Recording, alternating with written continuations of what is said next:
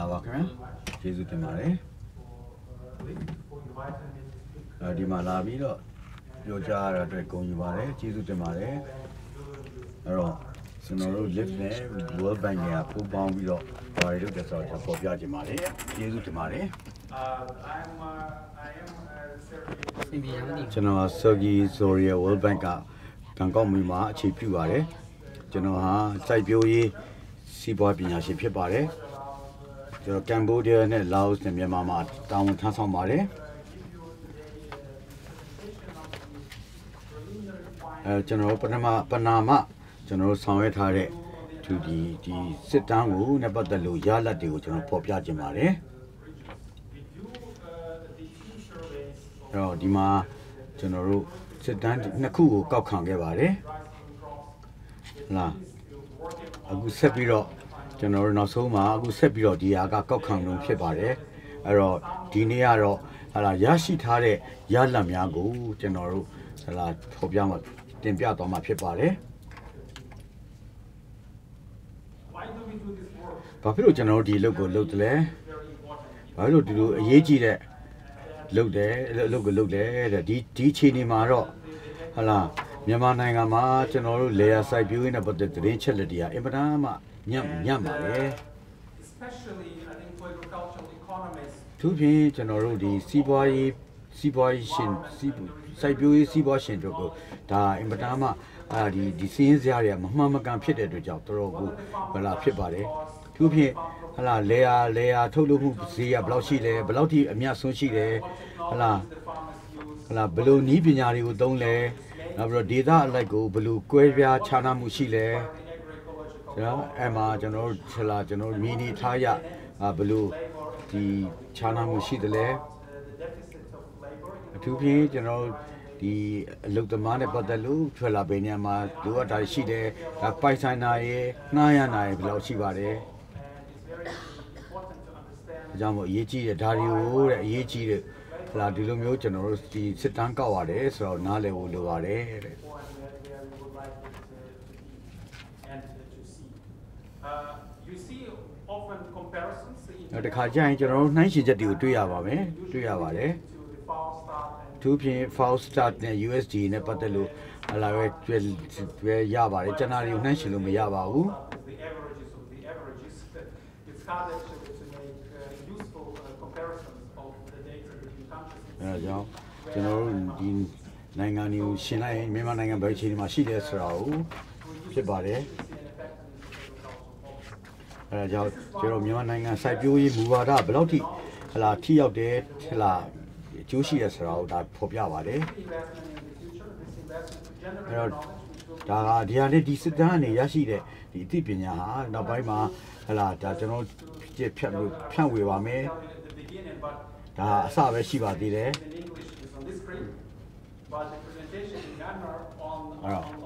မြန်မာနိုင်ငံမှာမြန်မာဘာသာစကားနဲ့ကတော့ဘေးမှာဖော်ပြထားပါတယ်အလဲကတော့အင်္ဂလိပ်လိုအင်္ဂလိပ်ဘာသာကဘာသာစကားနဲ့ဖော်ပြထားပါတယ်အဲ့တော့မြန်မာမြန်မာလိုကြည့်ချင်ရင်တော့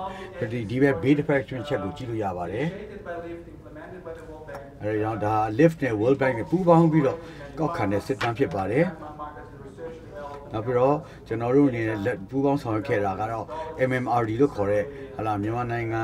ဈေးကွက်ဒီသူတေသနနဲ့ဖွံ့ဖြိုးတိုးတက်မှုအဖွဲ့ကိုလည်းလုပ်ပါတယ်နောက်ပြီးတော့ဒီ design နဲ့ပတ်သက်လို့တော့ FAO နဲ့နောက်ပြီးတော့ IRI နဲ့ဟိုဒါကိုထွေလာပုံဖော်ပေးပါ design ဆွဲပေးပါတယ်နောက်ပြီးတော့ Agri Food Consulting International တော့ဒါကဒါလက်ရှိရထားတဲ့စီးရင်စရာကိုသူကခွဲဝေပိုင်းခြားပြီးတော့ဝေပါမှာလေ့လာပါတယ် အဲ့တော့အဲ့တော့ဒီရရှိတဲ့သတင်းအချက်လက်တွေကလူမျိုးတို့တုံးပြမယ်လို့ပြောလဲပါတယ်ကျွန်တော်တို့လေယာမိသားစုအိမ်တော်ပေါင်းကို1928အိမ်တော်ပေါင်းများကိုဟိုပါအေးအဲ့တော့သူတို့ကဘာမှရှိတယ်အေယာဝတီမှာရှိတယ်ပဲခူးမှာရှိတယ်စကိုင်းမှာရှိတယ်ရှမ်းမှာရှိပါတယ်အဲ့တော့ဒီစစ်တမ်းကောက်တာကတော့မိုးရင်းမိုးကာလမှာတစ်ခါနဲ့6တွေ့ကာလမှာတစ်ခါလွတ်ခဲ့ပါတယ် အဲ့ဒါကမိုးကာလမှာတော့ November ကနေအဲ့ဒါ December အထိနဲ့နောက်ပြီးတော့6တွေ့ရတော့ April ကနေ June အထိကိုပြုတ်ပါတယ် Again, it's four regions, everybody. အဲ့တော့အေယာဝတီပဲခူးစကိုင်းနဲ့ရှမ်းဖြစ်ပါတယ်ဒေသကြီးမှာဖြစ်ပါတယ်အဲ့မှာမြင်းဝကျွန်းပေါ်ဟလာဒီ6တွေ့ဒေသနဲ့တောင်ပေါ်တောင်ပေါ်ဒေသတို့ဖြစ်ပါတယ် about these differences. Uh, this map အဲ့တော့ဒီဟာမြန်မာနိုင်ငံ ဘိုက်ပူတဲ့ map ပါ it shows it shows where the village uh, where the village အဲ့မှာ locations ဟလာကျွန်တော်တို့ရွာတွေကိုဖော်ပြထားပါတယ်အဲ့မှာ townships အဲ့မှာ24မြို့နယ်မှာ96ရွာများမှာကျွန်တော်တို့ဒီစစ်တမ်းကောက်ခဲ့ပါတယ် is is is not is not a farm census. So ဟုတ်လား it's ဒီ not ဟာက go to all အကုန်လုံးရဲ့ farms. သဘောတူညီမှုကြောင့်မဟုတ်ပါဘူးဒါတွေကလဲယာတွေနဲ့ကိုကိုကောက်ကောက်ခံတာမဟုတ်ပါဘူးအဲ့တော့ဒါကိုအသေးစိတ်သွားမှာမဟုတ်ပါဘူးအဲ့တော့ From Ghana, this is ဒီ not- အဲ့တော့ဒီလေယာမီလေယာတွေနဲ့ပတ်သက်လို့လည်းဘယ်လောက်ထိတက်ကြွပြီးတော့ပြောင်းလဲမှုရှိရတာဆိုတော့လည်းပေါ်ပြမှာမဟုတ်ပါဘူး survey, so we cannot have Alors. a dynamic comparison, so we cannot we cannot see changes. Yeah, from အဲ့ဒါကြောင့်ဒီ the လား system ပြုရင်ပြောင်းလဲမှုတွေတက်ကြွမှုတွေဘယ်လောက်ထိရှိရဆိုတာကိုနှိုင်းယှဉ်လို့တော့မရပါဘူးအဲ့တော့ဒီစစ်တမ်းကတော့ကျွန်တော်တို့ဟာလာဒီအဓိကဒီကြီးလက်တောရွာတွေမှာဟိုမိမောင်းထိုးပြီးတော့ဆောင်ရွက်ထားကောက်ခံထားတာဖြစ်ပါတယ် survey focuses on main village. အဓိက ကျွန်တော်တို့ဒီရွာလာကျွန်တော်တို့ And they are- so we need to take ရွာတွေမှာပဲကောက်ပါတယ် better performance. အဲ့ဒါကဟလာဒီတို့အဓိကဒီကျွန်တော်တို့ဒီကြေးရွာစုတွေမှာဆိုရင်တော့ပို့ပြီးတော့ကောင်းတဲ့ဟာတွေကိုတွေ့ရပါတယ်။အဲ့ဒါဘာလဲဆိုတော့စီးပွားရေးရတက်ကြွတယ်။နောက်ပြီးတော့အစိုးရဝန်ဆောင်မှုတွေရှိတယ်။ကုန်သွယ်မှုတွေရှိတယ် And uh, ။အဲ့ဒါတွေဖော်ပြထားပါတယ် it's very likely ပို့ပြီးတော့ဝေးတဲ့ village ဒီရွာတွေကြတော့အဲ့ဒါသူတို့မှာဝင်ငွေနည်းပါတယ်။နောက်ပြီးတော့သူတို့ရဲ့ရိုးရာဤပညာများကိုအများဖြင့်သုံးပါတယ်။ဒါကြောင့်အဓိကဒီတောရွာတွေနဲ့ရှင်းလိုက်ရင်တော့သူတို့ကဒါကိုအပြည်ပြည်ဆိုင်ရာနှိုင်းယှဉ်လို့ရပါတယ် There were the cost, there were the cost considerations, accessibility considerations. နောက်ပြီးတော့အဲ့ဒီဟာတွေကဒီအဓိကကြတဲ့ရွာတွေကြတော့ရောက်ရောက်ရှိဖို့လွယ်တယ်ဟဲ့လားကုန်ကြစိတ်ကလည်းတက်တာတယ် International uh, comparisons are အဲ့ဒါ done ကြောင့် based on also the best ဒါ areas. ကြောင့်လို့ဟဲ့လားပြည်ပြည်ဆိုင်ရာနှိုင်းယှဉ်ချက်တွေကတော့အကောင်းနဲ့အကောင်းဆုံးနေရာတွေမှာဟိုလုပ်ပါတယ်တဲ့အဲ့ဒါဥပမာကျွန်တော်တို့ဟဲ့လားဒီ field rights ဆိုခေါ်တဲ့ဖိလစ်ပင်းနိုင်ငံထုတ်တဲ့ဆန်ဆန်ကိုနဲ့ဆန်နဲ့ပတ်သက်တဲ့ဟာကိုလုပ်ပါတယ်1990ခုမှာကျွန်တော်ဖိလစ်ပင်းမှာလုပ်ပါတယ်ဒါတွေကိုနှိုင်းယှဉ်ချက်ဖိလစ်ပင်းနိုင်ငံနဲ့နှိုင်းယှဉ်ပါတယ်အိန္ဒိယထိုင်းလန် ဗီယက်နမ်တရုတ်နိုင်ငံတို့နဲ့နှိုင်းယှဉ်ပါတယ်ဖိလစ်ပင်းနဲ့နှိုင်းယှဉ်ခဲ့ပါတယ်1990 data အဲ့တော့ until now. ဖိလစ်ပင်းကအခုတည်းဒီ1990ခုမှာကောက်စစ်တမ်းတန်းရှိချက်ကိုအခုတည်းဒီ၃လုံးဖြစ်ပါတယ်၃နေလုံးဖြစ်ပါတယ် 2013, 2014. အဲ2014ခုတည်းကိုဒါတွေအသုံးပြုနေတာဖြစ်ပါတယ် with the extension services, with the more commercial places. And this is usually when you when you look on the အဲဒါကြောင့် studies, အပြည်ပြည်ဆိုင်ရာဒီလေးလာသုံးသပ်ချက်များကိုကြည့်ရင် ဟလာကောင်းတဲ့နေရာတွေမှာပဲသူတို့ကကောင်းတဲ့ဟိုအထက်ဟိုဒီစစ်တမ်းကောက်ရလွယ်တဲ့နေရာတွေမှာကောင်းတဲ့နေရာတွေမှာပဲဒါတွေကိုနှိုင်းရှင်းပါတယ် you talk you go to the area which would be more comparison အဲ့ဒါကြောင့် comparable with the international အဲဒါကြောင့်ဒီ surveys. လိုနိုင်ငံမှာသွားမယ်ဆိုရင်ပြည်ပြည်ဆိုင်ရာစံချင်းစံနှုန်းနဲ့နှိုင်းရှင်းလို့ရတဲ့နေရာတွေမှာပဲသွားပါတယ် covers many sections. အဲ့တော့ဒီစစ်တမ်းကတော့အမျိုးမျိုးရှိပါကဏ္ဍအမျိုးမျိုးရှိပါတယ်ဟာလာပထမဆုံးမြေနေထားရှိပါပညာရေးရှိတယ်နောက်ပြီးတော့ဝန်ဆောင်မှုတွေကိုဘယ်လောက်ထိလက်လှမ်းပြီးတယ်နောက်မြေလဲရမြေပမာဏဒါပထမအမှဝင်ဝင်ကုန်နေငှားရမ်းတာတွေဘယ်လိုသုံးဆွဲတာတွေပါတယ်နောက်ပြီးတော့ဆန်စပါးထုတ်လုပ်ထုတ်လုပ်မှုရှိပါတယ်နောက်ပြီးတော့ဒီဆန်စပါးထုတ်လုပ်မှုကိုတိုင်းတာတဲ့ဟလာအကျိုးရှိတဲ့အကျိုးတက်ရောက်တဲ့အရာတွေရှိပါတယ် နောက်ဆာနီဘယ်လိုသုံးဆွဲကြလဲ And for monsoon season, it's mainly rice. အဲ့တော့ကြောင့်ဒါကျွန်တော်တို့မိုးရကြီးမှာတော့ကျွန်တော်တို့ဟာဆန်စပါးကိုပဲဦးစားပေးပါတယ် I think in this presentation, I will not cover other တ crops. ခြားဒီကျွန်တော်တို့တီးနှံတွေကိုလည်းကျွန်တော်တို့မှာဒါမဲ့လည်းဟလာဒီဟာတွေတော့ကျွန်တော်မပြောတော့ပါဘူးဆန်ဆန်ကိုပဲကျွန်တော်ဦးစားပေးပြီးတော့ပြောပါမယ် And we will have uh, the results of the second. uh, ပြောင်းတို့မြေပဲတို့နှမ်းတို့ဟလာနေကြာတို့နောက်ပြီးတော့ကောက်ပဲတီးနှံတို့ကိုပြောတော့ပါဘူး But I, I, I would like to share with, with you sort of five big preliminary re- results. နောက်ပြီးတော့၅ခုအချက်၅ခုကိုအဖြေကိုကျွန်တော်ပြရှင်းပြကြပါမယ် Production technology. ပထမဆုံးကတော့မိုးရာသီစပါးထုတ်လုပ်မှုဤပညာပါ The second နောက်တစ်ခါ one, I တော့ will talk about the labor. အဲ့တော့ဒီအလုတ်သမားကနဲ့ပတ်သက်လို့ထလာပြုတ်ပြင်းပြောင်းလဲမှုတွေနောက်ပြီးတော့ဒီမိုးမိုးစပါးမှာဘယ်လောက်ထိထွက်ထွက်တာတွေဖော်ပြပါမယ်နောက်ပြီးတော့ကျွန်တော်တို့ဟလာဒီမိုးစပါးနဲ့ပတ်သက်လို့ဘယ်လောက်ထိဟိုဒီအခြေခံရှိတယ်ဆိုတာရယ်နောက်ဤပညာနဲ့လယ်သမားအာဟိုဘယ်လောက်ထိကွဲပြားခြားနားမှုရှိရဆိုတော့ပြောပါမယ် When you look on this uh, blue ဟုတ်လား and red ဒီမှာအပြာနဲ့အနီနဲ့ကိုကြည့်ရင်ကျွန်တော်တို့ဒီမှာ labor အလုပ်သမားကဘယ်လောက်ထိအရေးဟိုပို့ပြီးတော့ ဟိုဟာဖြစ်တယ်ဆိုတာကိုအလုပ်အလုပ်သမားကိုအလုပ်အားကောက်ကိုဘယ်လောက်သုံးနေဆိုတာဖော်ပြပါတယ် hired labor and the own labor. So for all of the regions အဲ့တော့ဒေသအားလုံးမှာဆိုရင် total production cost is is varies from 40 to 60. အဲ့ဒါကြောင့်အဲ့ဒီမှာအလုပ်သမားကက40ကနေ60ရာခိုင်နှုန်းရှိတယ်အဲ့ဒါအမြင့်ဆုံးကတော့ဒီ ARD အနှိမ့်ဆုံးကတော့ရှမ်းပြည်နယ်ပါအဲ့မှာသူတို့ဒီဓာတ်မြေဩဇာတွေအများကြီးသုံးပါတယ် So of uh, the of, of the other of the other inputs. When you compare it with other countries, တခြားနိုင်ငံနဲ့တန်းရှင်းမယ်ဆိုရင်တဲ့ what you see, uh, say, နိုင်ရှ say င်းမယ်ဆိုရ India, င် Philippines, ဟို Thailand, အိန္ဒိယဖိလစ်ပင်း Vietnam, this is the data သာလန်ဗီယက်နမ်နဲ့မြန်မာကိုတန်းရှင်းလိုက်မယ်ဆိုရင် rice production from the field rice study. Very new study was only presented in the International Rice အဲ့ဒါက Congress. ကျွန်တော်တို့ဟလာပြည်ပဆိုင်ရာဒီဆန်ဆန်လေးလာရေးမှာဘန်ကောက်မှာလုပ်တဲ့အစည်းအဝေးမှာဒါကိုတင်ပြခဲ့ပါတယ် So when you look on the structure of အဲ့တော့ cost in ဒါကိုကြည့်မယ်ဆိုရင်အိန္ဒိယဖိလစ်ပင်းထိုင်းလန်ဗီယက်နမ်မှာကိုကြည့်မယ်ဆိုရင်မြန်မာကြည့်မယ်ဆိုရင် Myanmar, you see in တန်းရှင်းမယ်ဆိုရင်တဲ့မြန်မာမှာဆိုရင်တဲ့ labor in total cost is pretty ဒီ high. မှာဆိုရင်အလုပ်သမားအလုပ်အားကအင်မတန်မြင့်တာကိုတွေ့နေရပါတယ် The difference ဒီ in these studies အဲ့တော့ဒီတခြားနိုင်ငံနဲ့ဆိုရင်တော့ဒီလောအားကအသိမရှိပါဘူး land is rented in those ဘာဖြစ်ဆိုတော့အဲ့ဒီတခြားနိုင်ငံမှာအများဖြင့်ကဒီလေယာမြေကိုမှားယမ်းပြီးတော့လုပ်တဲ့အတွက်ကြောင့်ဒီလောအားကအသိမရှိပါ So the- ဘူး the costs uh, of of အဲ land ဒါကြောင့် is in- in အဲ့တော့ Myanmar မြန်မာနိုင်ငံမှာဆိုရင်ကျွန်တော်တို့လေယာမြေကတန်ဖိုးသိမ့်မြင့်နေတာဖြစ်ပါတယ် Still not very high. But the overall, uh, the when you compare the technologies ဒါကိုလည်းပတ်သက်ဤပညာနဲ့တန်းရှင်ခြင်းပဲဆိုရင် the labor, they apply more inputs. အဲ့မှာဆိုရင်ဟလာလောအားကကိုတော့နင်းနေတော့နေပြီးတော့အဲ့ဒီမှာဆက်မှု ကိုပို့ပြီးတော့ဟလာလွယ်အောင်ကိုထရာတခြားထည့်သွင်းတာတွေဒီမှာဆက်မှုတွေကိုထည့်သွင်းပါတယ်အဲ့ဒါမကြမရပဲဆက်မှုလေယာစတင်နေပါတယ် Agricultural machinery, uh, Maar divided bro- into small tractors, medium and large, and power tillers. အဲ့တော့ကျွန်တော်တို့မြန်မာနိုင်ငံမှာမကြသေးရစပါတယ်ရှမ်းမှာတော့အဲ့မှာအများဖြင့်ရတော့ကျွန်တော်တို့ဟလာဒီစက်မှုလေယာကိုအသုံးပြုတာတွေ့ရတယ်ရှမ်းပြည်နယ်မှာ Power tillers, but, but အဲ့မှာ overall, အကုန်အောက်ခြုံကြည့်မယ်ဆိုရင်တော့ the ownership of machine is not အဲ့တော့ very စက်မှု large. ကိုပိုင်စက်ပစ္စည်းပိုင်ဆိုင်မှုကတော့တိတ်မရှိပါဘူးနည်းပါတယ်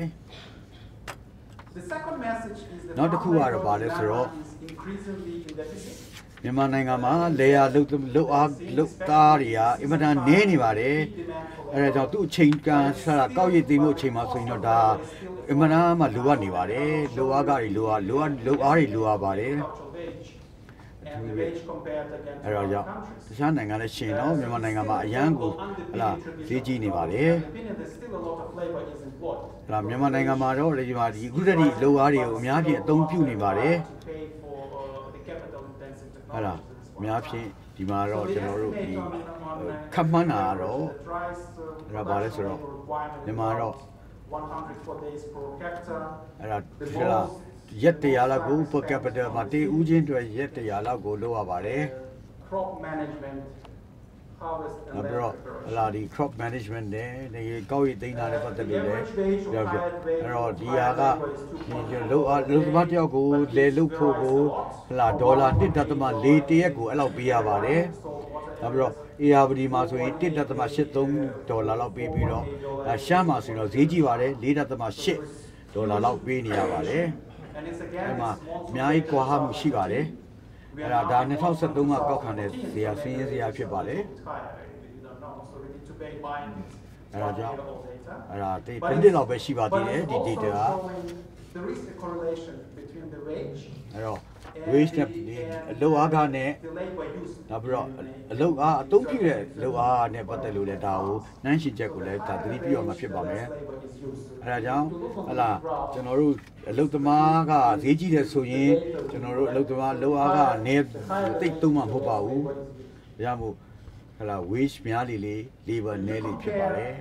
labor used for rice production and အော် agricultural ကျွန် labor တော်တို့ဒီ uh, in အုပ် different ဒီ countries. စံစဘာထုတ်ထုတ်လုပ်မှုနဲ့ကျွန်တော်တို့လေရှားစိုက်ပျိုးရေးထုတ်လုပ်မှုကိုရှင်းနှိုင်းရှင်မယ်ဆိုရင် A lot of labor. မြန်မာနိုင်ငံမှာအများကြီးကိုသုံးပါတယ်တခြားနိုင်ငံနဲ့ရှင်းလိုက်မြန်မာနိုင်ငံအများများပါတယ် Now 48 days. အဲကျွန်တော်တို့ကမ်ဘောဒီးယားမှာဆိုရင်အခုဆိုရင်48ရက်လောက်ပဲသုံးတယ်မြန်မာ104ရက်တောင်သုံးပါတယ်အဲ့တော့ကျွန်တော်ဒီစံစဘာထုတ်လုပ်မှုမှာဆိုရင်ကောက်သိမ်းတဲ့အချိန်မှာဆိုရင်104ရက်ယူပါတယ် ဒါကြောင့်မို့မြန်မာနိုင်ငံမှာအများကြီးကို labor ဟာများနေပါသေးတယ် by the machines. နောက်ပြီးတော့ပေးတဲ့လိုအားကလည်းမြန်မာနိုင်ငံမှာအနည်းဆုံးဖြစ်နေပါတယ် The footwear factories and construction, this is the driving forces. အဲဒါကြောင့်အဲဒီလေလေအလုပ်သမားကနေတော့တခြားစက်ရုံတွေမှာကျွန်တော်တို့စက်ရုံတွေဒီအထည်ကျချုပ်စက်ရုံတွေပါတခြားစက်ရုံတွေမှာလူတွေအများကြီးပြောင်းပြီးရွှေ့သွားလုပ်ပါတယ် Wages in in Myanmar is still မြန်မာနိုင်ငံမှာကျွန်တော်စိုက်ပျိုးရေးလာစားလည်းအင်ပတန်နည်းနေနေနေပါသေးတယ် the reasons why uh, the ဒါကြောင့်မလို့ production technology still remains so အဲဒါကြောင့် intensive. အဲဒါကြောင့်ဒီကျွန်တော်တို့လေယာထုတ်လုပ်မှုတွေဟာအများကြီးလောက်အားကကိုပြီးခုန်နေရတာဖြစ်ပါ But တယ် it's still uh, far from uh, Vietnam. uh, ဒါမဲ့လည်းအဲ့မှာ China Vietnam နဲ့ထိုင်တဲ့ကိုအများကြီးကိုကွာဟမှုရှိနေပါတယ် The message number three, which we- နောက်တစ်ခုကနံပါတ် is that 3 most သတင်းရ of the တော့ yields in Myanmar in Myanmar are low. အဲ့တော့ဒီမိုးမိုးစဘာတွေကတဲ့မြန်မာနိုင်ငံမှာအင်ပနာမှာနှိမ့်ကျနေပါတယ်တဲ့ Different sources. and, ဒါလည်းကျွန်တော်တို့အနေနဲ့အာသတင်းရအမျိုးမျိုးနေရာနေရပါတယ် US Department of Agriculture average အဲ့တော့ in Myanmar will အဲ့တော့ will tell ဒီ you US ကဒီစိုက်ပျိုးရေးဌာနနေဆိုရင်ဟိုပြောကြည့်မယ်ဆိုရင်တဲ့2.7အဲ့ဒါ tons per hectare. အဲ့ဒါ per capital ကြည့်2.7လောက်ပဲရှိပါတယ်4 tons per hectare. So the difference is large. တူးချင်းမှာကြည့်လို့ဒီဟာ sample မှာဆိုရင်ဒီဟာကျွန်တော်တို့ကြည့်ရဲ့လေယာလေယာမြေဒီမှာဆိုရင်တော့ဟာလာဒီ But uh, on the You are yeah. average yield is 3.1 tons per hectare. အဲ့တော့ဒီဖြတ်မြအရဆိုရင်တဲ့တစ်တစ်ဟက်တဲကိုတဲ့3.14တန်လောက်ပဲထွက်ထွက်ပါတယ်တဲ့ In Shan State, in our sample, အဲ့တော့ most of the ရှမ်းပြည်နယ်မှာဆိုရင်တော့ locations အဲ့မှာတော့ remain really strong. တော်တော်တော့များပါ4.3ဖြစ်ပါတယ် Hybrid seeds and အဲ့မှာအများဖြင့်ရတော့ hybrid ဒီဒီဒီမျိုးမျိုးစီတွေသုံးပါတယ် Smaller farms and ဒါပေမဲ့ smaller farms ဒီလေသမားအငယ်စားလေယာတွေမှာကြတော့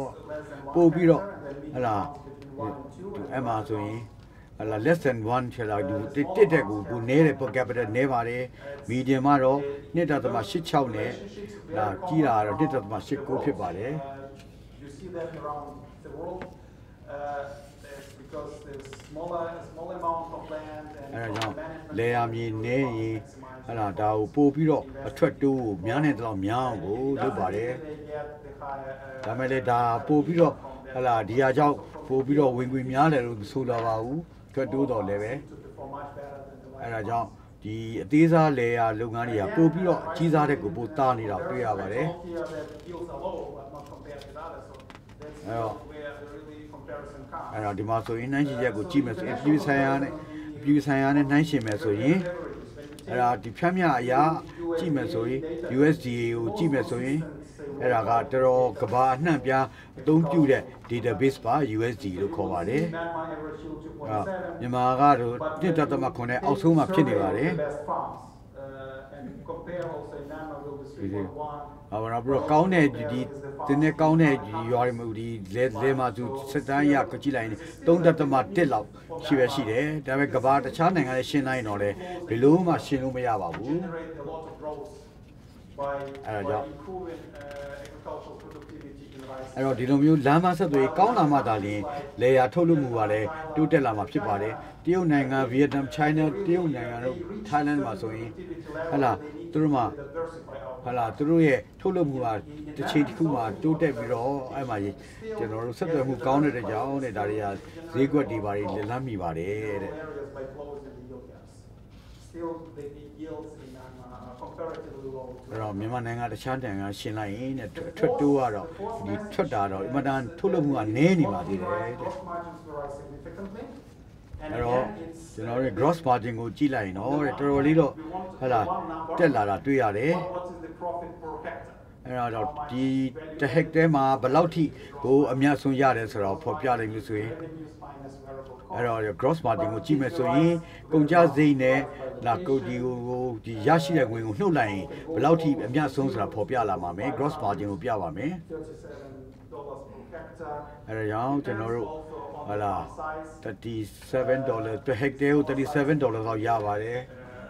have uh, a little bit larger profit per hectare, but အဲ့ဒါကြောင့် because they are smaller, they are အဲ့တော့ also လေသမားလေယာငယ်အသီးစားတွေမှာဆိုရင်တော့ဒါတွေကဟလာဒီအများဆုံးကတော့လဲနည်းပါတယ် we are working on အခုချိန်ကျွန်တော်တို့လုပ်ပါတယ် is trying to understand ဒါတွေကိုလည်းကျွန်တော်အများကြီးစစ်တမ်းတွေကောက်ယူပြီးတော့ဒါတွေကိုပိုင်းခြားဝေဖန်သွားဘူးဒီလေ့လာသွားမှာဖြစ်ပါတယ် by location. uh, the- အဲ့တော့ data လိုက်ကိုဒါကျွန်တော်တို့ကစီးရင်စရာကောက်ခံပြီးတော့ဒါတွေကိုကျွန်တော်တို့လေ့လာသွားမှာဖြစ်ပါတယ်အသေးစိတ်လေ့လာသွားမှာဖြစ်ပါတယ်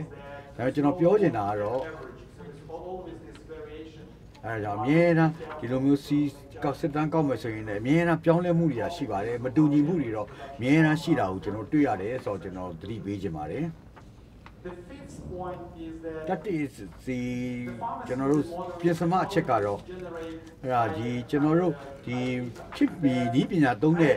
တဲ့ဒီလယ်သမားတွေကပို့ပြီးတော့ဟာလာဒီဝင်ငွေပို့များလာများတာကိုရရှိတာကိုကျွန်တော်တွေ့ရပါတယ်ဒါလယ်နဲ့ဒီလေယာမြေနဲ့မဆိုင်ပါဘူးတော့အများအားမဆိုင်ပါဘူးမပတ်သက်ပါဘူးဒါကြောင့်မလို့ အဲ့တော့ဒီ ownership, tractor တွေပိုင်ဆိုင်မှုကြည့်မယ်ဆိုရင် farmers who have uh, tractor tractor တွေရှိတဲ့ဒီလယ်သမားတွေကပို့ပြီးတော့ uh, higher returns per labor. အဲ့တော့ The အဲ့မှာ farmers who ပို့ use ပြီးတော့ fertilizer ထွက်ပါတယ်နောက်ပြီးတော့ higher ဒီ return per labor. It's, it's, it's interesting. နောက်ပြီးတော့အမှဒီဓာတ်မြေဩဇာသုံးတာတွေလည်းပို့ပြီးတော့ဟိုဟာလာပိုများများဝင်ငွေရရှိတာကိုတွေ့ရပါတယ် DAF,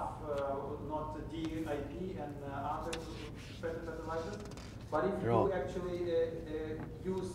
urea plus some အဲ့တော့ other ယူရီးယားတို့ဟာမျိုးတဘာတဘာဝဓာတ်မြေဩဇာမျိုးသုံးနေဆိုရင်တော့ဟဲ့လားဒါတွေကအများကြီးထွက်ရနိုင်ပါတယ်ဝင်ငွေတွေရနိုင်ပါတယ် analysis of this data set, အဲ့တော့ဒီဟာကိုကျွန်တော်တို့ဟာလာပိုင်းခြားဝေပြဝေဘာနာကိုလေ့လာတာကိုဟဲ့လားဗာကြည့်တယ်အဲ့တော့ပို့ပြီးတစ်ခုတစ်ခုလေလေယာတစ်ခုတစ်ခုမတူတာတွေကိုကျွန်တော်တွေ့ရှိမယ် technologies the farmer uses. အဲ့ဒါ within- သုံးတဲ့နည်းပညာတွေကမတူတာကိုလည်းကျွန်တော်တွေ့ရှိပါတယ် There are differences by region and you just ခါကျရင် data လိုက်ကိုကွဲပြားခြားနားမှုတွေတွေ့နေရမှာဖြစ်ပါတယ် if you within one agroecological zone, အဲ့တော့တစ်တစ်ချိန်မဲ့ဒီစိုက်ပျိုးရေး data တစ်ခုကိုပဲကြည့်မယ်ဆိုရင် only urea, some farmers အချို့တွေကကျွန်တော်တို့ဒီဒီယူရီးယားပဲသုံးတယ်အချို့တွေကြတော့တခြားဟာတွေပြောင်းလဲသုံးတာရှိရမယ်အဲ့ခါကျရင်လည်းပြောင်းလဲမှုတွေမျိုးမျိုးကိုတွေ့ရပါလိမ့်မယ်အထွက်ဒီထွက်တဲ့ထွက်ဒီထွက်ပေါ်တဲ့စပါးတွေဟာအမျိုးမျိုးပြောင်းလဲတာကိုတွေ့ရပါမယ် result in the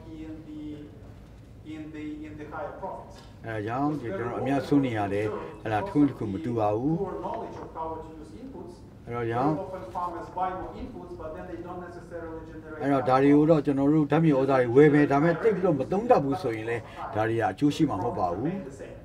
So we would like to sort of do အဲ့ဒါကြောင့် this type of အဲ့တော့ analysis. ဓာတ်မှုကိုလည်းပို့ပြီးတော့လေးလာပြီးတော့သုံးသပ်ချင်ပါတယ် ဟလာဘယ်လိုဓာတ်မြေဩဇာသုံးမှုသုံးနည်းနဲ့ဟလာဘယ်လိုဘယ်လိုနည်းပညာတွေသုံးနေဆိုတာကိုလည်းကျွန်တော်ပို့ပြီးတော့အသေးစိတ်ကိုလေးလာသွားချင်ပါတယ်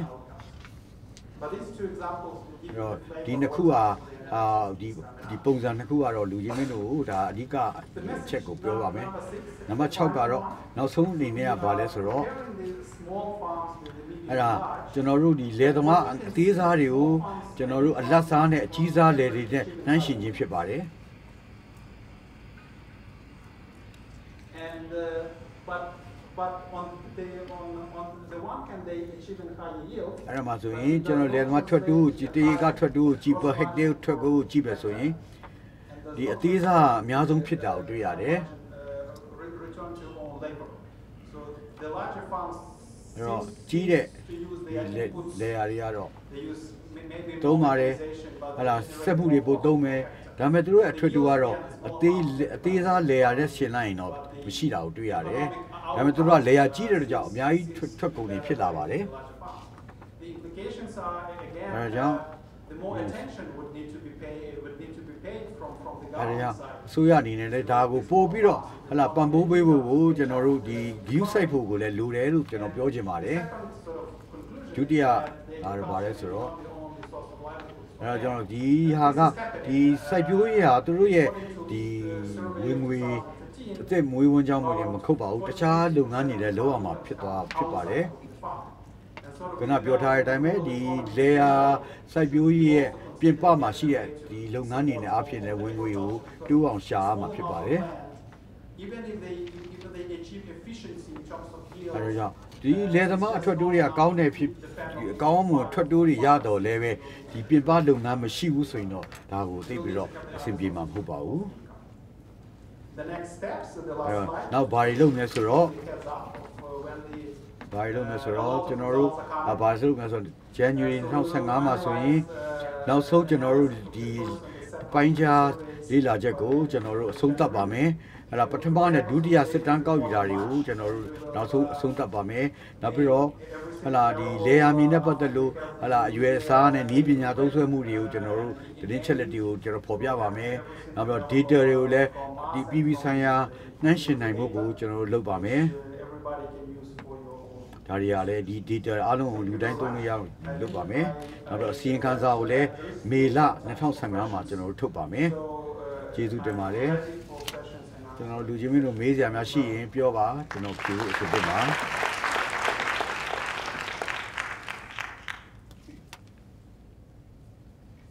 Thank you. Thank you for. Hello.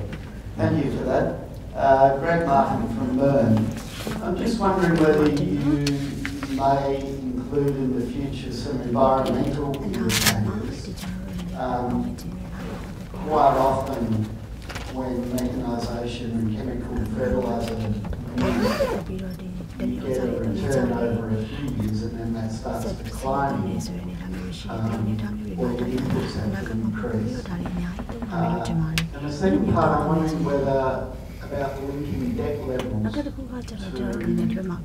mechanisation and, and fertiliser, chemical fertilisers. There's often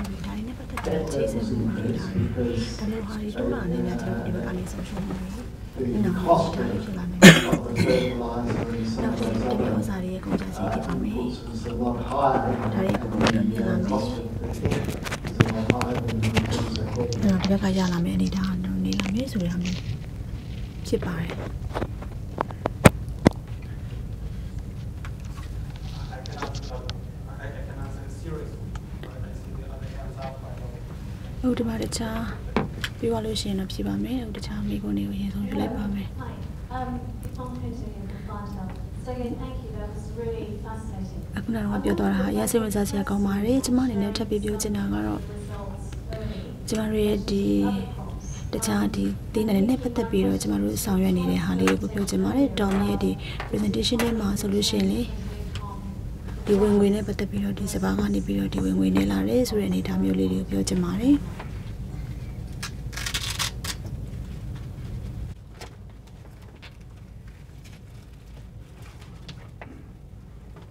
Uh, my name is Rohit. I ကျွန်တော်ကတော့တွေ့တယ်ပေါ့ကျွန်တော် action 8ပါ just like to action 8ကပါ know about that particular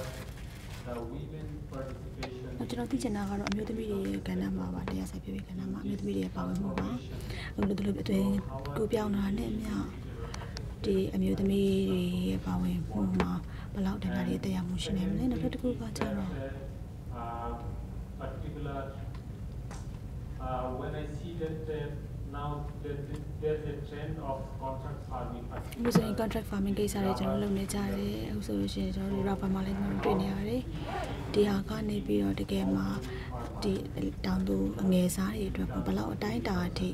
အကျိုးကျေးဇူးပြုနိုင်မလဲ I would say I, I, I will start with the three otherwise အဲ့တော့ကျွန်တော်ဒီမျိုးကတော့ဟိုအရင်ကျွန်တော်စပြီးတော့ဖြေလိုက်ပါမယ်တဲ့ ပြီးတော့မှကျွန်တော်တက်ပြီးတော့တခြားတွေထပ်ပြောပါ on မယ် the on the environment on the environmental ဒီပတ်ဝန်းကျင် sustainability yes ရရှိပတ်ဝန်းကျင်ကိစ္စထိန်းသိမ်းနေပတ်သက်ပြီးတော့ပြောမယ်ဆိုလို့ရှိရင်တော့ကျွန်တော်တို့ရဲ့အခုဒီ uh, design these survey questions မှာ to capture in the one spot survey ကျွန်တော်တို့ survey မှာဆိုလို့ရှိရင်ဒါ in တစ် all အတွက်ကိုကျွန်တော်တို့ one of spot the survey instruments. ပြောမယ်ဆိုရင်ဒါမျိုးရှိပါတယ် This is very very important ဒါဟာအရင်ရေးကြည့်တဲ့အချက်ပါခုနကတော့ထောက်ပြလိုက်တဲ့အချက်ဟာ It's, uh, it's very important we need to capture that but the ကျွန်တော်တို့တွေ instrument နဲ့ဒီအတွက်ကိုအချက်လက်တွေရှာဖို့လိုပါတယ် on the on the ခုနကတော့ပြောတဲ့ဒီလိုပတ်ဝန်းကျင်ကိုထိခိုက်စေပစ္စည်းတွေကိုကျွန်တော်တို့အသုံးပြုဖို့ခွင့်ပြုဖို့ we do မပြည့်တယ်ပါဘူး uh, we, we, we do the ဒီမှာကျွန်တော်တို့အနေနဲ့ခုနကတော့ကလေလေစပါလေသမားတွေအနေနဲ့စပါဆိုင်ဖြစ်တဲ့ကောင်မသူတို့ဒီတပြည့်ဝစားတွေကိုထုတ်လုပ်ရေးအတွက်ပို့ပြီးကောင်းဖို့ဆိုပြီးတော့ဒါကိုသုံးကြတယ်ဆိုတာမျိုးတွေ့ရပါတယ် အဲ့တော့ machinery ကျွန်တော်တို့အနေနဲ့ that doesn't အခု bring နောက်တော့ကလို့ဒီဘက်ကဘန်နာရေးပိုင်းဆိုင်ရာရဝင်ငွေတိုးဖို့ဆိုတာကတမီဩဇာတွေသုံးတာတွေဟာကျွန်တော်တို့အတွက်ကိုသိတဲ့တာ um, အကျိုးစီးပွားကိုပေါ်ဆောင်နိုင်ပါဘူး to actually translate ဒါကြောင့် the အလို့ higher use of ဒီ moist လက် and တောင်သူတွေအနေနဲ့ကဒီတက်ထပ်ပြီးတော့လဲစိုက်ဖြိုးရေးမှာပိုပြီးဈေးကြီးတဲ့ပစ္စည်းတွေဝယ်ပြီးမသုံးမသုံးဆွဲနိုင်ဘူးဘာလို့လဲဆိုတော့ဒီဘက်မှာထုတ်လို့ရင်းနဲ့ပတ်သက်ပြီးကုန်ကြစိတ်ကအရမ်းများနေတယ် and တက်နိုင်ကြညာဒီထုတ်လို့ရေးကုန်ကြစိတ်ကို short ချဖို့ကျွန်တော်တို့ကစူးစမ်းအောင်ပါပါဒီအတွက်ကိုလည်းကျွန်တော်တို့ထပ်ပြီးတော့ဒီဒေတာတုံးတက်မှုပုံစံမျိုးကျွန်တော်တို့ဆက်ပြီးတော့လုပ်အောင်ပါပါအဲကိုသုံးလိုက်တဲ့အနေထားတွေက on the ဘန်နာရေးက diversification အကျိုးကျေးဇူးမရှိစေဘူးဆိုတဲ့ဟာမျိုးတွေလည်းဖြစ်နေတာကိုတွေ့ရပါတယ် I, I, uh, we have, we have, uh, when we looked on the, what farmers produce during the နောက်အလုပ် monsoon ဒီ season, တောင်သူတွေအနေနဲ့မိုးတွေမှာဘာတွေထုတ်တယ်လဲဆိုတာကိုကြည့်လို့ရှိရင် not just, not just rice. သူတို့တွေနဲ့ဒီစပားတစ်ခုလည်းထုတ်တာမဟုတ်ပါဘူးသူတို့တွေအနေနဲ့ဒီပြောင်းတွေထုတ်တယ်ဆိုတဲ့ဟာမျိုးတွေလည်းရှိတယ် Sesame and brown. နောက်ပြီးတော့ဒီမြေပဲတို့နန်း But တို့ I, လည်းထုတ်တာ but, တွေ but ရှိ I တယ် would really uh, be uh, more conclusive about ဒါ the ကို cost, ကျွန်တော်တို့ uh, အနေ about နဲ့ the တက်နိုင်တယ်များ comparative, uh, လက်ရှိရှိနေတဲ့ profitability of different crops. ကိုထုတ်လိုက်တဲ့ဒီတင်းနှံဟာကိုယ့်အတွက်ဈေးကွက်ထဲမှာလေ ရောင်းနိုင်တဲ့ဟာမျိုးဖြစ်ရမယ်ကိုလည်းတွက်ချေကြိုက်တယ်ဆိုတဲ့ဟာမျိုးဖြစ်ရပါမယ်ဒီဟာကိုကျွန်တော်တို့အမြဲတမ်းနှိုင်းယှဉ်ပြီးတော့မှဆောင်ရွက်ကမှာ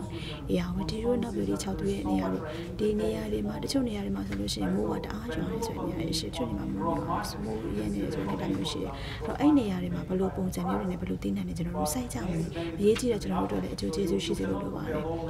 အဲ့တော့ကိုကဒီတာမွန်မှာရှိနေတဲ့စိုက်ပျိုးနေတဲ့အနေထားနဲ့ဒီမြေပြင်းမှာစိုက်ပျိုးနေတဲ့အနေထားကိုကျွန်တော်တို့သွားပြီးနှိုင်းယှဉ်လို့မရပါဘူး အရေးကြီးတာမြေပြန့်ဆိုမြေပြန့်မှာရှိနေတဲ့စိုက်ပျိုးနေတဲ့ဟာတွေကိုကိုလုံးနိုင်ရှင်မဲနိုင်ရှင်ပြီးတော့သူတို့ကတော့ဘာတွေစိုက်ပြီးဘယ်လောက်တောင်တိုးတက်နေကြလဲဘယ်လိုပစ္စည်းတွေတုံးဘယ်လိုတိုးတက်နေကြလဲကိုရီးယားဘယ်လိုဖြစ်နေလဲမြေပြန့်မြေပြန့်ချင်းကိုပဲကျွန်တော်တို့နိုင်ရှင်လို့ရပါမယ်။အများသောအားဖြင့်ကတော့ကျွန်တော်တို့ဒီစပားရုံတွေကတော်တော်များများလဲစိုက်ပျိုးကြပါတယ် Will the white farmers don't produce uh, other crops? နောက်တစ်ခုကတောင်သူတွေအနေနဲ့စပားအပြင်နောက်ထပ်တခြားဘာတခြားသီးနှံတွေဘာလို့မထုတ်တာလဲဆိုတာဒါတော်တော်လေးရှုပ်ထွေးပါတယ်ဒီအတွက်ကိုကျွန်တော်တို့ဒီဘက်ကထုတ်လုပ်မှုကုန်ကြစိတ်တွေရှိတယ်ဈေးကွက်အနေထားလေးရှိတယ်အဲ့တော့ကျွန်တော်တို့တွေအနေနဲ့ကဒီဈေးကွက်ရဲ့ဒီထုတ်လုပ်မှုနေထားတဲ့ demand တွေကိုကျွန်တော်တို့ထည့်ပြီးတွက်ရမှာဖြစ်ပါတယ် Uh, the benefits of farmers from အဲ့ transformation. တောင်သူတွေအနေနဲ့ကခုနကတော့ကလို့ဒီလိုမျိုးအသွင်ကူးပြောင်းမှုပြီးခဲ့တဲ့ကလည်းပါအသွင်ကူးပြောင်းမှုအတွက်ကိုရလာတဲ့အကျိုးကျေးဇူးကတော့ I just want to focus on this. Uh, ကျွန်တော်တို့ရဲ့ဒီ survey ဒီစစ်တဲ့အစမှာလည်းကျွန်တော်ဖော်ပြခဲ့ပါတယ်တနေ့တည်းကျွန်တော်တို့ရဲ့ဒီရေကုန်တစ်ခုစီ 2001. မှာကျွန်တော်ဒီမှာဆောင်ရွက်ထားတယ်ဒီ2017ကနေပြီးတော့တော်တော်ကျွန်တော်ဒီ2015လေးကျွန်တော်တို့ဒီဆောင်ရွက်ထားတယ်ဆိုတဲ့ဟာမျိုးတွေရှိတယ် တချို့နေရာမှာကျွန်တော်တို့ဒီစစ်တမ်းကိုထပ်ခါတလဲနဲ့ပြန်ပြန်ကောက်တာမျိုးတွေရှိတယ်။အဲ့ဒီနေရာမှာဘယ်လောက်ထိပြပြပြောင်းလဲမှုတွေကနေအဲ့ဒီနေရာမှာဘယ်လောက်ထိတရားမှုတွေရှိသွားလဲ။ဒီပညာကြောင့်ဘယ်လောက်ထိတိုးတက်သွားလဲဆိုတော့ကျွန်တော်တို့စမ်းစစ်ထားတာတွေရှိပါတယ်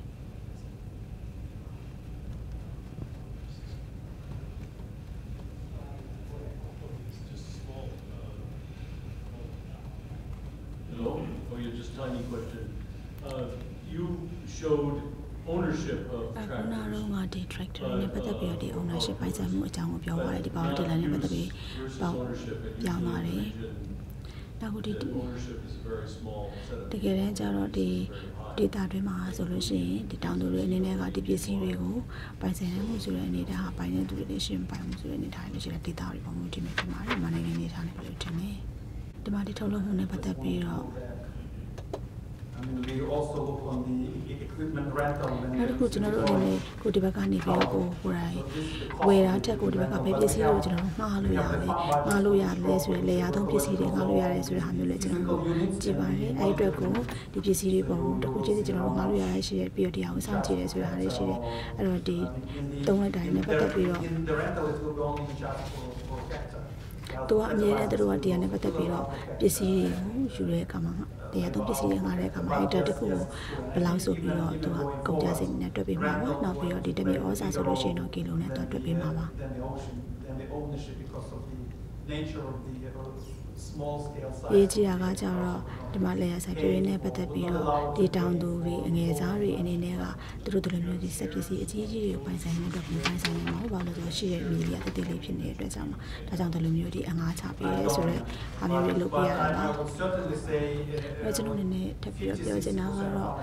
ဒီ90 60ရာကတောင်လို့90 60ရာခိုင်နှုန်းလောက်ကဒီလိုမျိုးပစ္စည်းတွေလက်ပစ္စည်းတွေ90ဒီဒီပစ္စည်းတွေကိုငှားရန်သုံးဆွဲကြပါတယ်ဒီ 10ရာခိုင်နှုန်း15ရာခိုင်နှုန်းလောက်ပဲပိုင်ဆိုင်ကြတာပါဒီအခုတယောက်က FA ပါပါ Usually, just this relates to your findings about the profitability. အခုနောက်တော့ဒီအကျိုးကျေးဇူးရှိတာနဲ့ပတ်သက်ပြီးတော့နောက်ပြီးတော့ဒီတောင်သူအသေးတောင်သူအသေးစားနဲ့တောင်သူကြီးအတွက်ကိုနိုင်ရှင်ပြပြထားတာတွေ့ရပါတယ် They do not really limit ။ညတော့အပြင်ဒီတောင် crops in a year. ဒီတောင်သူတွေအနေနဲ့ဆိုလို့ရှိရင်တချို့တွေဆိုရင်ဒီဆောင်းတွေမှာစိုက်တဲ့သီးနှံရှိမယ် The rainy crops. ။နောက်ပြီးတော့ဒီ In between also. မိုးသီးနှံရှိမယ်၊ຫນွေသီးနှံရှိမယ်။ They also- ဒီအတွက်ကိုသူတို့တွေအနေနဲ့ကဒီတစ်ဖက်မှာတစ်ဖက်ကနေကြည့်မယ်ဆိုလို့ရှိရင်လည်း So, လုံသမားတွေလိုမဲ့ဒီလိုမျိုးတစ်ခုတစ်ခုစိုက်ရင်စိုက်နေအလဲကနေပြီးတော့တခြားတီးညက်တွေဆက်သွားတယ်ဆိုတဲ့ဟာမျိုးလေးရှိတယ် depends on the total profitability. ။အခုဒီဟာကအားလုံးအတွက်ကိုခြုံကြည့်မယ်ဆိုလို့ရှိရင် Countries like အ Bangladesh, ကျိုးကျေးဇူးအနေနဲ့ဘယ်လောက်ထိ ရှိနိုင်မလဲအားလုံးခြုံကြည့်မယ်ဆိုရင်ဘင်္ဂလားဒေ့ရှ်မှာဆိုရင် the smaller farms usually they have three crops. သူတို့ The other thing that we တောင်သူကြီးစားတွေအနေနဲ့ကသူတို့ကဒီမှာဒီနဲ့တစ်မျိုးလောက်ပဲစိုက်တယ်နှစ်မျိုးလောက်ဒီနဲ့စိုက်တယ်တချို့နေရာတွေမှာတောင်သူအသေးစားတွေကကျတော့ဒီနဲ့သုံးမျိုးလောက်စိုက်ကြတယ်။နောက်အထူးသဖြင့်ကတော့သူတို့တွေအနေနဲ့ကဒီ organic ဆိုတဲ့အစားအသောက်အစားအစာကိုပို့ပြီးတော့ organic အစားအစာတွေဖြစ်ဖို့စိုက်ကြတာစိုက်ကြတာမျိုးတွေတွေ့ကြတယ်။ဒါမျိုးတွေထည့်ပြီးထည့်သွင်းစဉ်းစားသင့်ပါတယ်။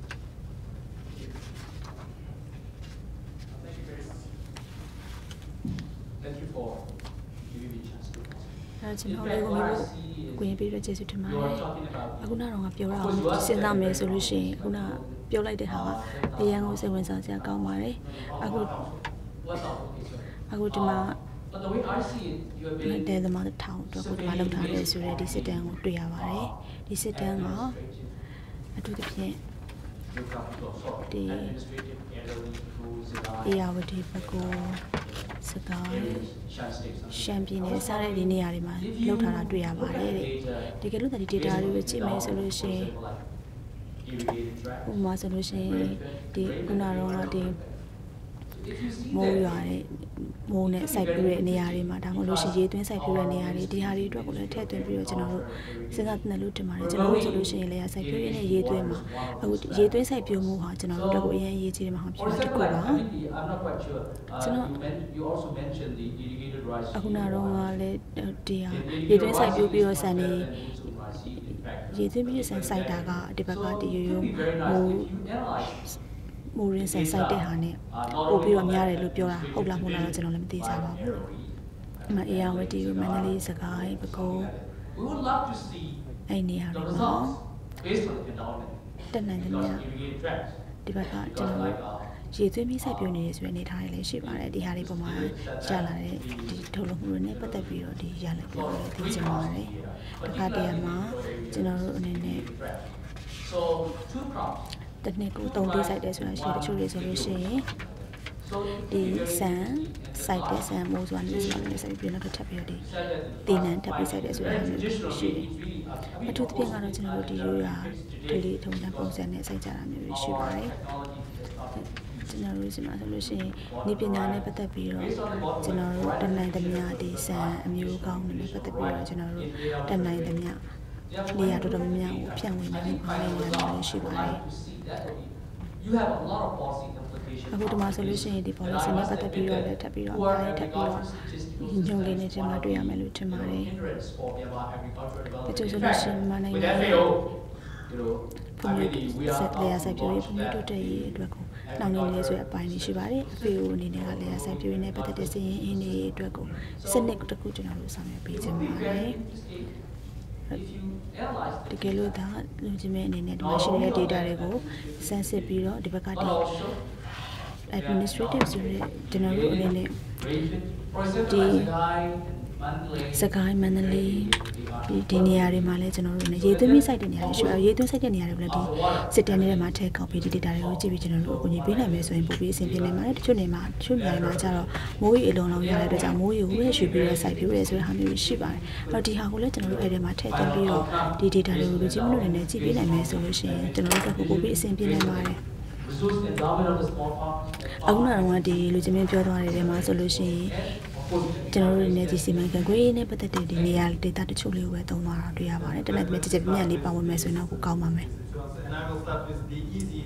answer. ။အဲကျွန်တော်နေဒီလွယ်တာကိုစဖြစ်ပါမယ်။အခုနောက်တော့ဒီကြီးပြောသွားတဲ့ဟာဆိုလို့ရှိရင် So when you look on ကျွန်တော်တို့လည်းဒါနဲ့ပတ်သက်ပြီးလုပ်ပေးလို့ရှိပါတယ်။အခုဒီစကိုင်းမှာဆိုလို့ရှိရင်ဒီဘက်မှာကျွန်တော်တို့ရေးသွင်းစိုက်ပြည့်ရဲဆိုတဲ့ဟာမျိုးတွေ ecological zone, ရှိပါတယ်။ ဒီမှာဇုံတိုင်းအတွက်ကိုရှိနေတဲ့ဒီမြေမျိုးစားတွေမတူပါဘူး Monsoon season is not မိုးရွင်းမှာဆိုလို့ရှိရင်မိုးရဲမှာဆိုလို့ရှိရင်ကျွန်တော်တို့ဒီဘက်ကဒါရေးသွင်းဆိုင်လာရေးသွင်းမဆိုင်ဘူးလားဆိုတာမျိုးကျွန်တော်တို့ထည့်မစင်စားပါဘူးအဓိကကကျွန်တော်တို့ဒီ6သွေးတဲ့အချိန်မှာရေးသွင်းဆိုင်လာမဆိုင်လားဆိုတာကျွန်တော်တို့ပို့ပြီးတော့ပို့ပြီးတော့စဉ်းစားပါတယ်မဒီထဲမှာတော့ကျွန်တော်မပါထားပါဘူးတဲ့ March. အခုဒီမှာဆိုလို့ရှိရင်ကျွန်တော်ဒီ March လမှာလို့ကျွန်တော်တို့ကမှန်းထားတာ We, we look on the agroecological zone, but then အခုဒီမှာဆိုလို့ရှိရင်ကျွန်တော်တို့အနေနဲ့ထပ်ပြီးတော့ of the natural endowments. တနိုင်သမျှဒီထဲမှာလေဒီရေသွင်းစိုက်ပျိုးတဲ့မြေရောရေသွင်းစိုက်ပျိုးမှုမရှိတဲ့လယ်မြေတွေကိုနောက်ပြီးတော့ဒီလယ်မြေအမျိုးအစားတွေအသက်လယ်မြေနည်းလားလယ်မြေများလားဆိုတဲ့ဟာမျိုးလည်းကျွန်တော်တို့ထည့်ပြီးတော့ဒီတက်ထပ်ပြီးတော့ဆောင်ရွက်ကမှာဖြစ်ပါတယ် The question from Paul on uh, smaller, larger, and the livelihoods uh, uh, strategies. နောက်ပြီးတော့ဒီ Yes. uh, တမျိုးဝန်ဆောင်မှုမဟာဗျူဟာနဲ့ပတ်သက်ပြီးတော့ဒီတောင်သူသေးစားတဲ့တောင်သူအကြီးအတွက်ကို back to တမျိုးဝန်ဆောင်မှုပြောရမယ်ဆိုရင်တော့ two surveys will come ဒီမှာကျွန်တော်တို့ဒီစစ်တမ်းနှစ်ခုရှိပါတယ်ဒီမှာတောင်သူဘလောက်ကတချို့တွေကဒီသီးနှံနှစ်မျိုးဆိုင်လားတချို့ကကျတော့သုံးသုံးမျိုးဆိုင်လားဆိုတာကိုကျွန်တော်တို့ကကြည့်ရပါမယ် but mainly in some farms. တချို့တောင်သူတွေကကျတော့ဒီသီးနှံတစ်မျိုးပဲဆိုင်တယ်တချို့ကျတော့သီးနှံနှစ်မျိုးဆိုင်တယ်အဲ့တော့နှစ်မျိုးကောင်းပါတယ်သုံးမျိုးကလည်းပိုပြီးကောင်းပါတယ်ဒါပေမဲ့တစ်ခါတည်းကကျတော့ဒီတောင်သူအငယ်စားတွေအနေနဲ့ကလည်းဒီဘက်မှာသူတို့ရဲ့တနိုင်တစ်ပိုင်းအနေနဲ့စိုက်ပျိုးရဲဆိုတဲ့အနေအထားမျိုးရှိရပါတယ်အေးကြီးတာသူတို့ရဲ့ဒီလေယာစိုက်ပျိုးမှုကနေရနေတဲ့ဝင်ငွေအားလုံးကိုကြည့်ရပါမယ်တစ်နှစ်လုံးမှာသူတို့ဒီစိုက်ပျိုးလိုက်တဲ့ဟာကနေသူတို့အတိုင်းတာဘယ်လောက်ထိသူတို့အတွက်ကိုကြံတယ်လဲသူတို့သူတို့စိုက်ပျိုးတယ်ဆိုတဲ့ဟာကလည်းအားလုံးတစ်နိုင်တစ်နှစ်လုံးအတိုက်တာနဲ့နှိုင်းရှင်မယ်ဆိုလို့ရှိရင်ဒါတည်ငြိမ်မှုရှိဖို့လိုပါတယ်အထွက်နှုန်းကြီးအများလိုက်နဲလိုက်အဲ့လိုမျိုးဖြစ်လို့မရပါဘူးနောက်တစ်ခုအနေနဲ့က ကျွန်တော်တို့အနေနဲ့ဒီဘက်မှာနေပြီးတော့ဒီဒီစက်ပိုင်းဆိုင်ရာတွေသုံးနေဆိုတဲ့ဟာတွေဒီကိုလည်း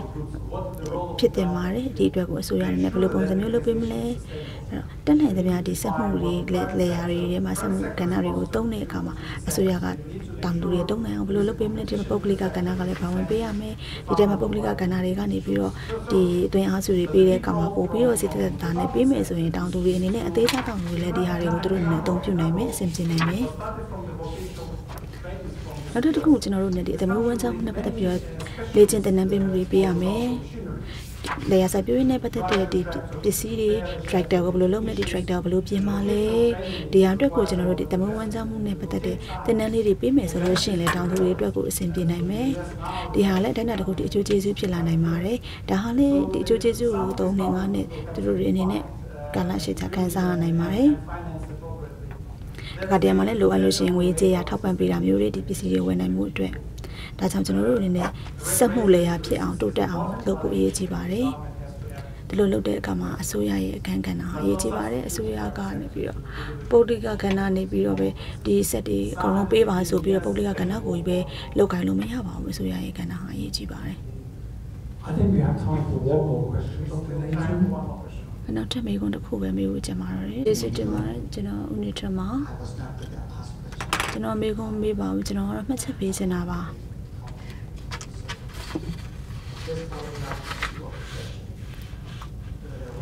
အခုနောက်တော့အရှိမရှိနေတဲ့ဒီမိကွန်းလေးမှာပုံမှာဒီပြန်ပြီးတော့ဖြည့်လိုက်တဲ့ဒီပတ်ဝန်းကျင်နဲ့ပတ်သက်တဲ့အနေအထားတွေလူမှုရေးပိုင်းနဲ့ပတ်သက်တဲ့နောက်ဆက်တွဲတွေစီးပွားရေးနဲ့ပတ်သက်တဲ့နောက်ဆက်တွဲတွေနောက်ပြီးတော့ဒီစမှုလေးအသွင်ကိုပြောင်းတဲ့ဟာတွေ ကျွန်တော်ပြောချင်တာကတော့ It cannot wait for this report. ကျွန်တော်တို့နောက်ထပ် report တစ်ခုကိုအစီရင်ခံစာတစ်ခုကိုထပ်ပြီးတော့စောင့်နေဖို့မလိုပါဘူးကျွန်တော်တို့ဒီနောက်ကနှစ်နှစ်သုံးနှစ်ထပ်ပြီးတော့ကျွန်တော်တို့စောင့်နေလို့မလိုပါဘူးအခုလက်ရှိအရေးကြီးပါတယ်အခုလက်ရှိကျွန်တော်တို့ချက်ချင်းလောက်ရမှာပါဒါမှသာလေကျွန်တော်တို့လည်းတိုးတက်မှုလုပ်နေမှာဟုတ်လက်ရှိအနေထားလေးပိုပြီးမှုတိုးတက်လာမှာဖြစ်ပါတယ်နောက်တစ်ခုကျွန်တော်အနေနဲ့စိတ်ပူတာတစ်ခုကနေရာတိုင်းမှာလည်းလို့ပဲဖြစ်နေတာပါပဲ အဲ့တော့ကျွန်တော်တို့စက်မှုနဲ့ပတ်သက်ပြီးတော့ဆောင်ရွက်ကမှာပါအဲ့တော့ဒီနေရာတိုင်းမှာစက်မှုကိုကျွန်တော်တို့ထည့်သွင်းပြီးဆောင်ရွက်ရမှာပါအရေးကြီးတာကဒီစက်ကိုသုံးတာဟုတ်ပါပြီအဲ့ဒီစက်နဲ့ပတ်သက်ပြီးတော့ကျွမ်းကျင်မှုဒါအရေးကြီးပါတယ်ဒါကျွန်တော်တို့ကြုံနေရတဲ့ပြဿနာပါဟုတ်တယ်ဒီစက်သုံးတာကောင်းတယ်ဒါပေမဲ့ဒီစက်နဲ့ပတ်သက်ပြီးတော့ကျွမ်းကျင်မှုကိုကျွန်တော်တို့ဒီမှာရှိနေတဲ့တောင်သူတွေနားလည်အောင်ကျွန်တော်တို့လုပ်ပေးနိုင် မှုလိုပါတယ်တရားနဲ့ပတ်သက်ပြီးတော့ဒီအစိုးရတစ်ခုတည်းမဟုတ်ပါဘူးနောက်ပြီးတော့တောင်သူတွေအနေနဲ့လည်းသူတို့ကိုယ်တိုင်ဒီတောင်းယူမှုရှိတဲ့တောင်သူတွေဖြစ်ဖို့လိုပါတယ်အဲ့တော့ကျွန်တော်အနေနဲ့အားဒီမှာရှိနေတဲ့အားလုံးကိုအားပေးခြင်းပါတယ် website ဒီမှာကြည့်ပါအဲ US ရဲ့ဒီကနေပြီးတော့လုပ်နေတဲ့အနေအထားကိုကြည့်ပါအခုဒီထဲမှာဒီရာသီဥတုနဲ့ပတ်သက်ပြီးတော့အနေအထားတွေဘယ်လိုဖြစ်နေလဲရာသီဥတုကကျွန်တော်တို့ကောင်းတာတွေဆိုးတာတွေဘာတွေဖြစ်စေသလဲ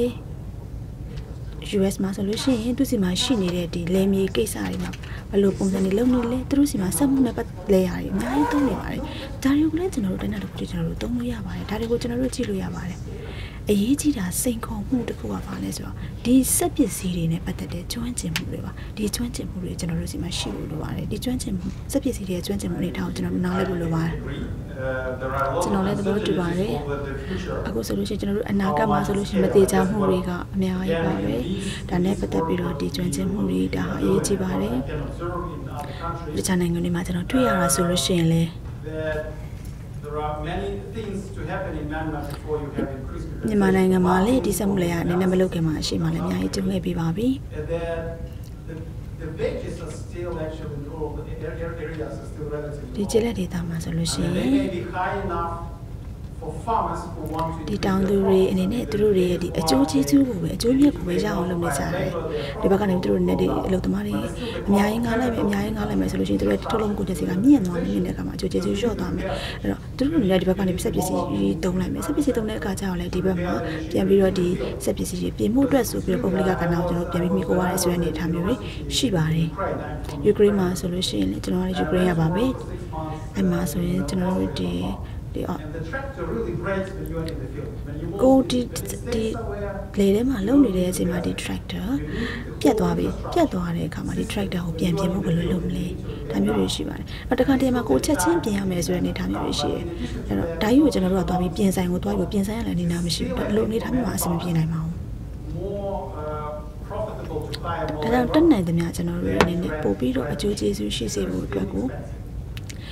စက်ပစ္စည်းတွေကိုပို့ပြီးတော့ငှားရနိုင်မှုလိုပါတယ်ဘာလို့လဲဆိုတော့ငှားရမှုမှတာလည်းကျွန်တော်တို့ဒီစက်ပစ္စည်းဝယ်ရဲဆိုတဲ့ဟာကစေးစီးရဲ့ကြောင့်မလို့ငှားရနိုင်တဲ့အနေအထားကနေပြီးကိုယ့်ရဲ့ဒီ in the country with 50%ထုတ်လုပ်နိုင်မှုအနေထားကိုတိုးတက်စေမှာပါ။လေယာစိုက်ပျိုးရေးမှာရှိနေတဲ့ဒီ90ရာခိုင်နှုန်းလောက်မှာ